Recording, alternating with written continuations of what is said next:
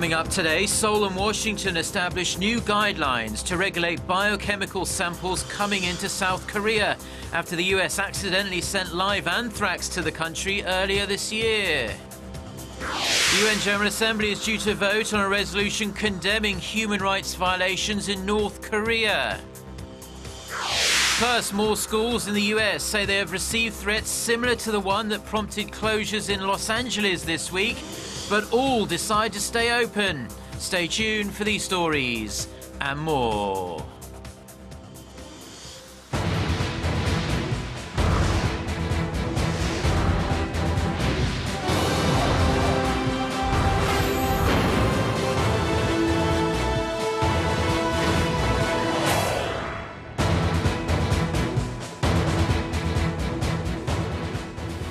Hello to our viewers around the world. It's 6 a.m. on Friday, December 18th here in Seoul. Thank you for joining us. I'm Mark Broom.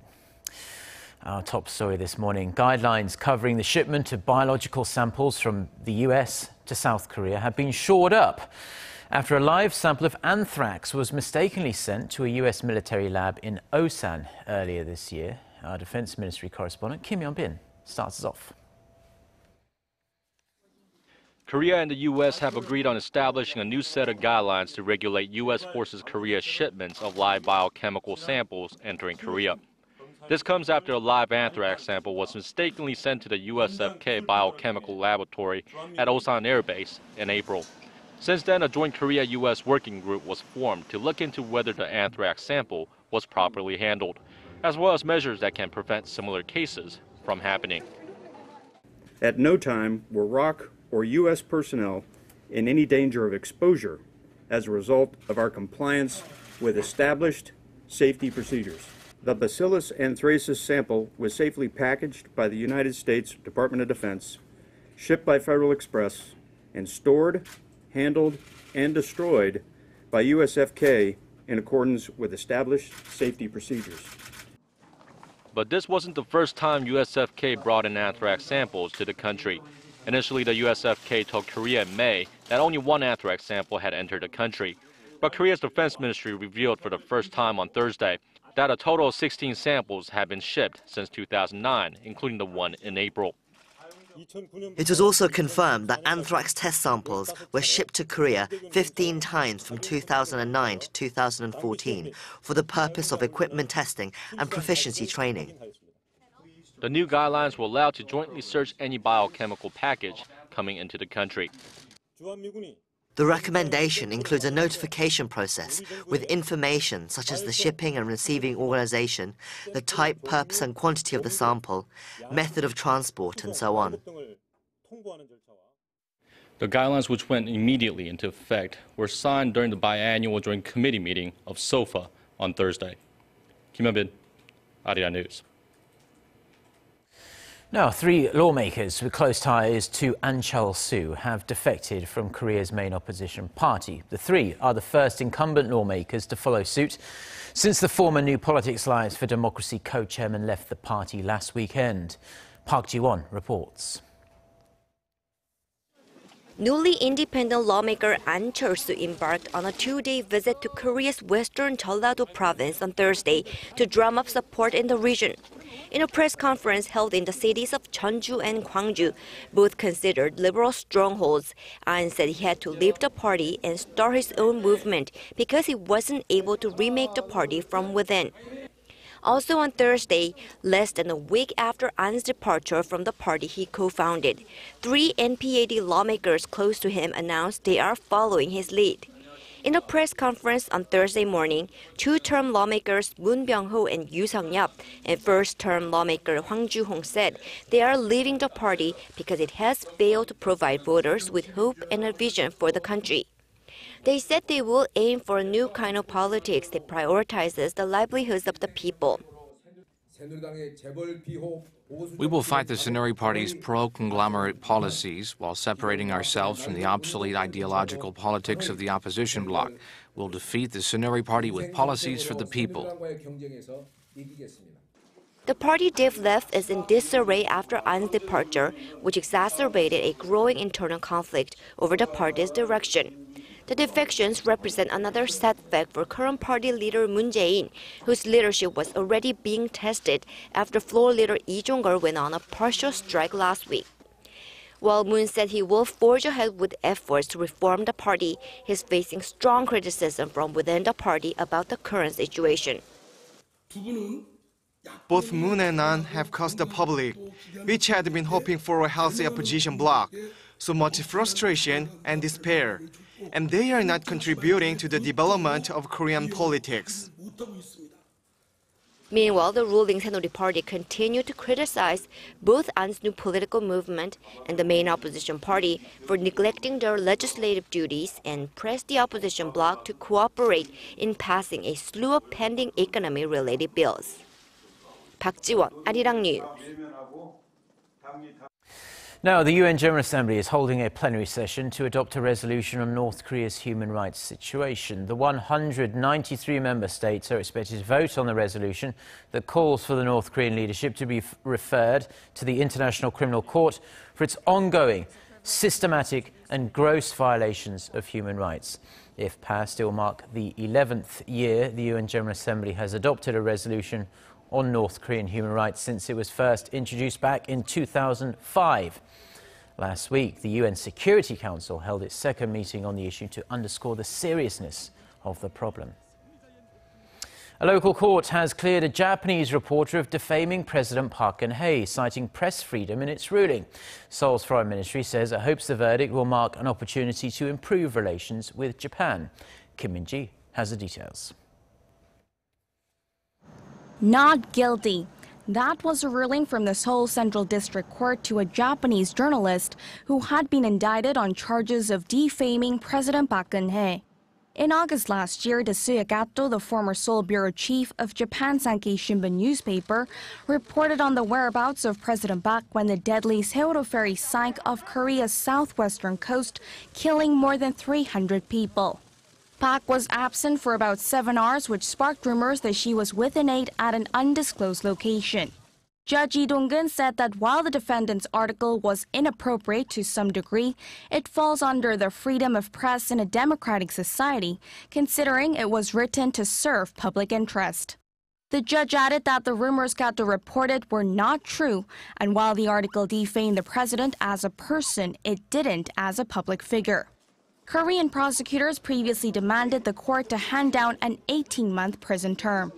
After the ruling, Kato said in a news conference the prosecutor should accept the court's decision as it is.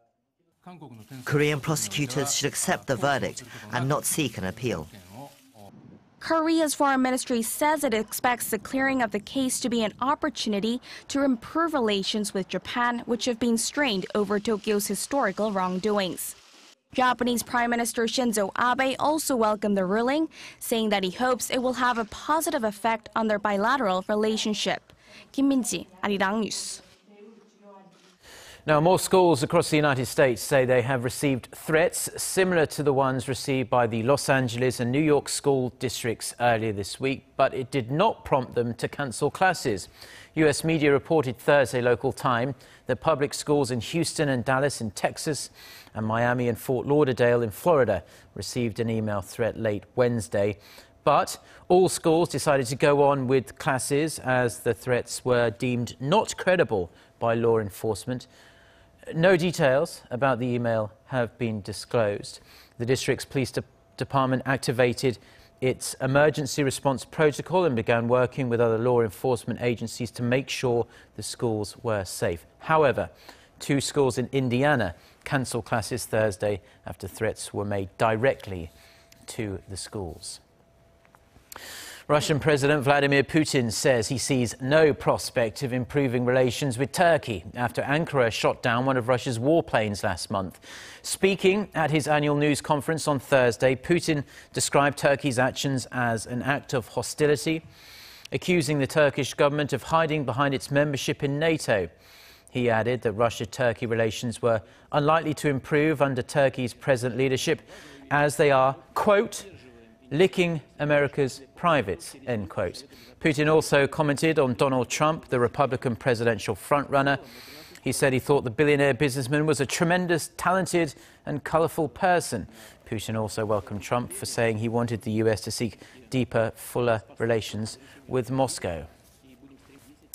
Lawyers representing suspended FIFA president Sepp Blatter say they have presented evidence to a FIFA hearing that demonstrates he behaved properly and did not violate the organisation's code of ethics. Blatter has now left FIFA after an eight-hour hearing. He denies charges that he approved the payment of more than 2 million US dollars to his former deputy Michel Platini. Platini says he'll boycott a hearing scheduled for Friday calling his implication in the scandal a political move to keep him from running for FIFA's top job. The Ethics Committee's final verdict on Blatter and Platini will be announced next week. Now, the world is still taking stock of the US Federal Reserve's decision to raise rates for the first time in around a decade. Economic, economic policymakers in Korea say the country should be able to ride the wave, but they've vowed to keep a close watch on any new market developments. Our Hwang Ji has this report a short-term limited impact. That's how Korea's economic policymakers assess the effect of the Fed's rate rise on the domestic economy. They say the country's strong fundamentals will shield the economy from any immediate shocks. Korea's vast current account surplus and foreign reserves, as well as its fiscal soundness, will distinguish Korea from other emerging markets.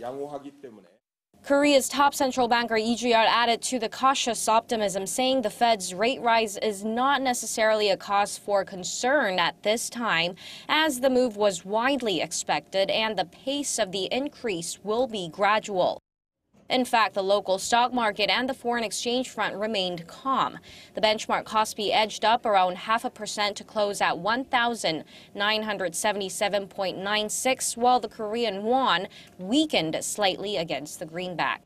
Still, there are lingering concerns about the effect of the Fed's rate hike on other emerging markets or oil-rich countries and the toll it could take on the domestic economy as Korea's exports to emerging countries account for almost 60% of all outbound shipments. The corporate debt risk could rise in oil-rich countries and in some emerging markets, which will put a damper on Korea's exports. Given that Korea's economic policymakers have pledged to strengthen their monitoring of developments in the global market, especially in emerging Asian countries, and promise to keep on updating contingency plans if necessary. Hwang Jie, Arirang News. Now, it's currently minus 7 degrees Celsius here in Seoul, and if you live in Korea or have ever visited at this time of year, you'll know just how bitterly cold the winters can be. For those fortunate enough, it means turning up the heat and bearing those uh, energy bills, but many people don't have that luxury. However, help is at hand to keep society's most vulnerable warm this winter. Uh, Oh Young has this report. The sound of chopping logs rings through Garyongmyeon, a small town in Korea's western Chungcheongnam-do province. Korea's cold winters mean heating bills tend to be high, a major source of strain and stress for the elderly and low-income families. Looking to lend a helping hand, workers at the Korea Forest Service are delivering logs to communities like this as part of their annual outreach. These logs are left over from our operations. We're distributing them to help our neighbours stay warm this winter. From November to February, trucks deliver 50,000 tonnes of firewood to households around the country. And this year, the outreach has expanded to 10,000 homes, 3,000 more than last year. I used to pick up bits of dead wood. I just shivered because of the cold. But this winter should be better. I'm so grateful for their help. Through these bundles of warmth, families in need can beat the cold and enjoy their Christmas and New Year around a toasty fire. Oh Soo-young, Arirang News.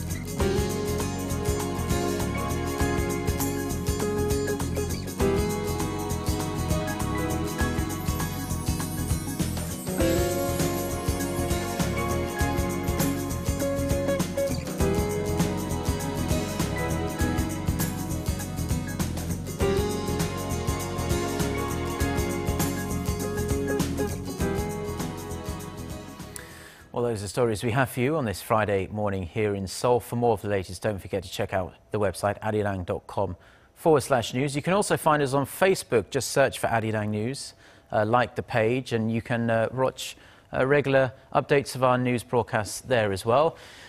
The end of the working week is almost upon us, so if we don't see you, have a wonderful weekend. Goodbye.